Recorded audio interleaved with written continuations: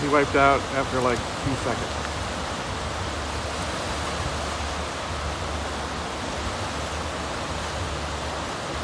Horses.